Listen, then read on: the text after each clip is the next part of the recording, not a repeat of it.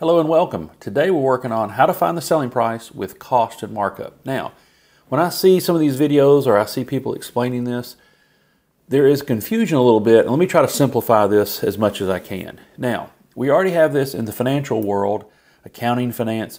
We have an income statement where we have sales minus the cost gives us a profit. So I'm going to use this formula because a lot of times you're given a formula and they say, oh, you need to rearrange it if you're trying to find the selling price or whatever or you're trying to find the cost or the profit. So let's talk about what's true. The selling price is the cost plus the profit. Now, selling price, we can call that sales or revenue. So that formula looks a little different if you use sales or revenue. The cost, we can call it cost of goods sold or the abbreviation COGS. We can call it cost of sales or cost of revenue. It's the cost of our product that we're selling hopefully at a profit. Now, profit, we have several different ways to say this. These words are used interchangeably, so let me, let me uh, kind of clear that up a little bit. Sometimes people call this markup, and markup, I'm going to say that it, it really is markup on your cost.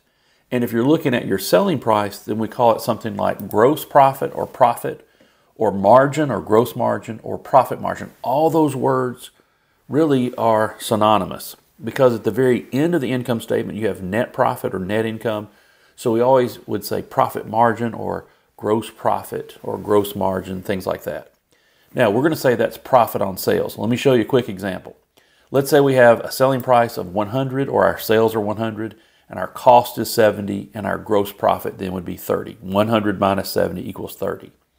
Well, let's do the percentages here and we do this concept in uh, finance where we call this vertical analysis or common size analysis. And I've already made this percentages just to make it quicker for us. So we say our sales are 100% and our cost then is 70 divided by 100. So our cost is 70% and our profit margin would be 30 divided by 100 or 30%. So here we would say our profit margin or our margin would be 30%. But what's our profit? 30. What's our markup? 30. But the percentage is going to be different. So the markup on cost would be a percentage. So let's do the percentage here. So 30 divided by our cost is how we get the markup percentage. And that's going to be something about 43%.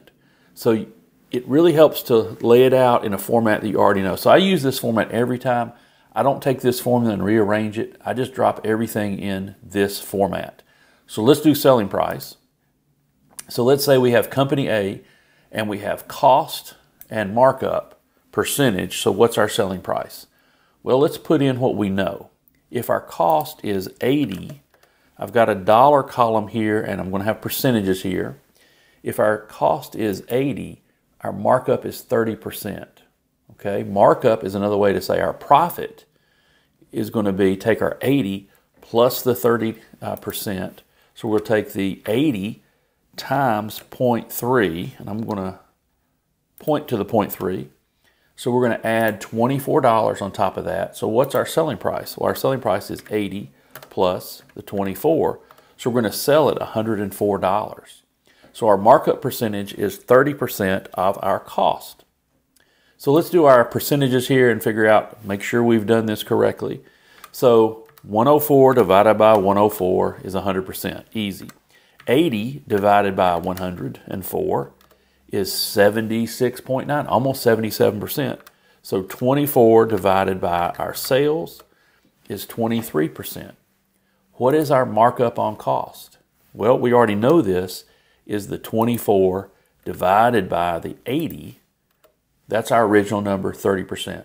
So at the same point where our markup percentage is 30, our gross profit or our profit margin is 23%. So this is company A. Let's do another complete example. Let's say our cost is 50 and our markup percentage is 40%. We're going to take the 50 times 0.4. So our gross profit is going to be 20. So what's our selling price? Our selling price is 50 plus the 20. So it is 70. Let's do the math on this. We can do 70 divided by 70.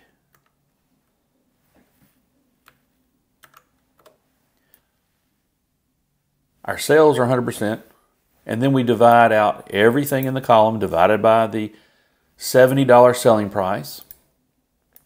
So our gross profit percentage or our profit margin is 28.6, our profit is 20. What is the markup percentage? Well, the markup percentage is 20 divided by the 50, and we know that is going to be 40% markup, and our gross profit is going to be 28.6. So this is how you calculate selling price if you know cost and markup. I've got lots of videos on markup and profit. So we'll see you on the next video. Thanks for watching.